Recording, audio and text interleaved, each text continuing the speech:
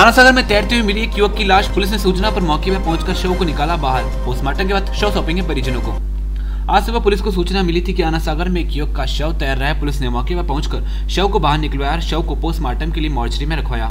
युवक का नाम मनोज था और युवक के परिजनों को इसकी सूचना दी। परिजनों ने जानकारी देते हुए बताया कि मनोज कल रात घर से निकल गया था और मनोज मानसिक रूप से भी कमज़ोर था।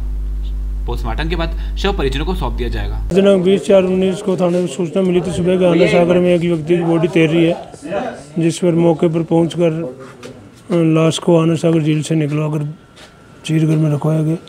उसकी तलाशी में मनोज सनो पन्नालाल कोड़ी निवासी शंकर नगर नगरा का लाइसेंस मिला था जिस पर परिजनों को सूचना करने पर वो आए जिन्होंने बताया कि वो रात्रि में घर से निकल गया था जो कुछ मानसिक रूप से भी कमज़ोर था। जिसका पोस्टमार्टम करवा रहे हैं और बॉडी परिजनों को सपोर्ट कर। रहे हैं मिली थी और क्या है? सर ऐसा हुआ कि सुबह दस बजे करीब इन्हें पुलिस वाले आए दो जने। उन्होंने बताया कि इन्हें आपका मनोज कुमार जो मेरा चाचा जी का लड़का है तो वो उसकी शिनाख्त के लिए बोला गया हमको कि आना सागर में एक बॉडी मिली है। जबकि रात को शादी में गए हैं खाना वाना खा के सोया है सुबह जल्दी निकल गया वो। अब हम यहाँ आए शिनाख्त के लिए तो पता चला कि वो हमारा ही भाई है मनोज कुमार। पिताजी का नाम जो पन्ना लाल है वो पाया गया है।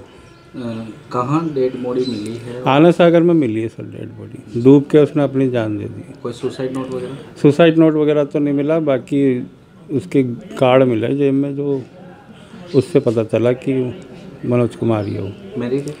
नहीं अनमेरिड है सर। अड़तीस साल। कहाँ के निवासी? ये शंकर नगर नगराज में। किसी चीज़ की परेशानी थी?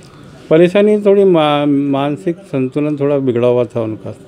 करीब एक डेढ़ महीने से और इलाज भी चल रहा था उपचार करवा रहे थे। लेकिन ऐसा नहीं था कि वो सुसाइड कर लेगा। ऐसी? नहीं शक सुबह कुछ नहीं। वो थोड़ा मेंटली हो, हो रहा था दवा चल रही थी। मैंने कि हो जाएगा। डॉक्टर ने भी बोला था ठीक हो जाएगा ऐसी कोई दिक्कत नहीं है। मनोज क्या करता मनोज जी ये बीका जी में सप्लायर का काम करता था। ठीक है। आपका परिचय? आपका परिचय? मेरा नाम रवि कुमार है। मैं मनोज के ताऊ जी का लड़का हूँ।